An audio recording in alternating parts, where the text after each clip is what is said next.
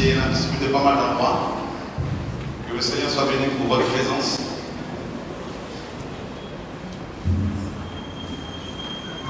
On aime le Seigneur, n'est-ce pas?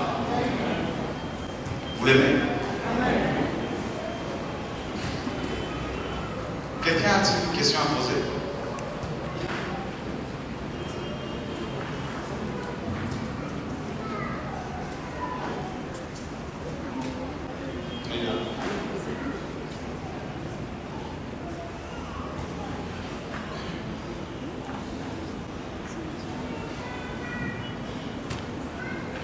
Bonsoir, frères, bonsoir, bonsoir à tous et à toutes.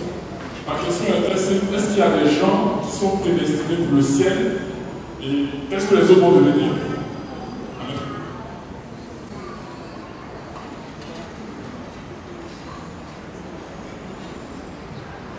Au sixième siècle euh, après Jésus-Christ, il y a un homme euh, du nom d'Au- d'Augustin d'Hippone qui est considéré comme un des grands hommes dans l'Église catholique. Cet homme euh, a jeté les bases de la doctrine euh, qu'on appelle la double prédestination. Et, euh, c'est Calvin au XVIe siècle qui va développer cette doctrine. Calvin disait qu'il y a une catégorie, il y a des personnes. Est-ce que le chewing-gum, est-ce que vous pouvez les, les plaît? Merci. Calvin disait qu'il y a des personnes qui sont prédestinées à la damnation. Quoi qu'elles fassent, selon Calvin, ces personnes ne pourraient, pas être sauvées. Et, euh, et il y en a d'autres qui sont prédestinées à la vie éternelle. Quoi qu'elles fassent, elles seraient ou elles seront sauvées. Et, euh, mais ce n'est pas ce que les Écritures nous disent, ce n'est pas ce que la parole nous dit. Il est dit dans 1 Timothée chapitre 2, le verset 5. Qui connaît ce passage par cœur? Il est dit quoi, mon frère?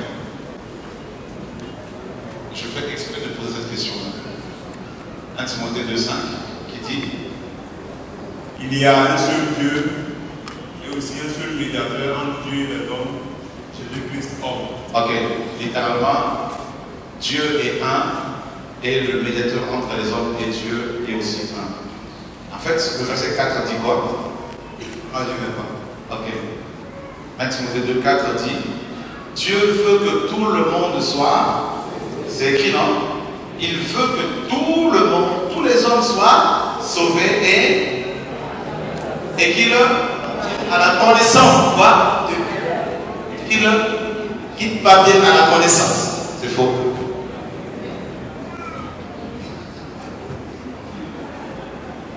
C'est faux. Été mal traduit.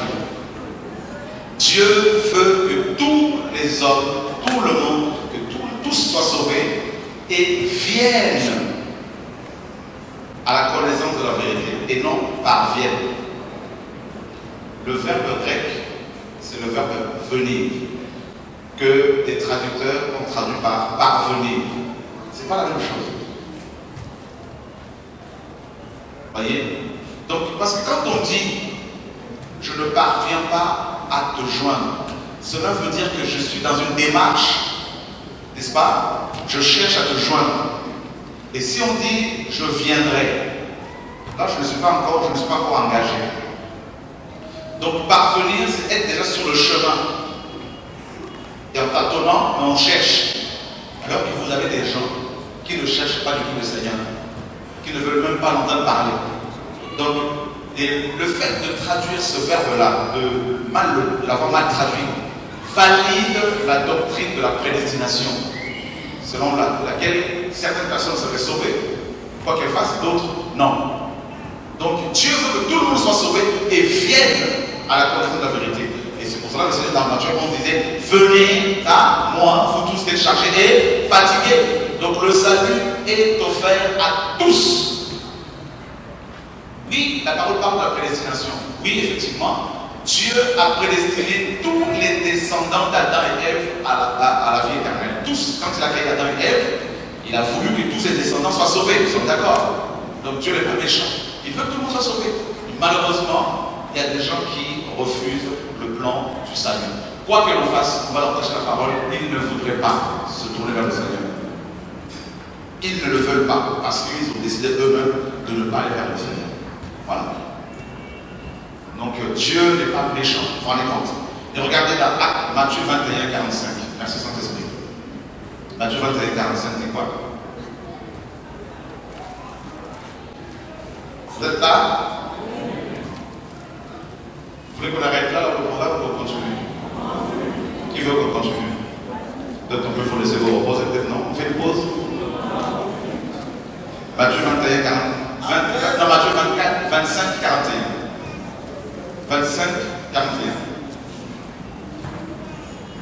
Verset 41, il est écrit Alors il dira aussi à moi que vous les avez faites.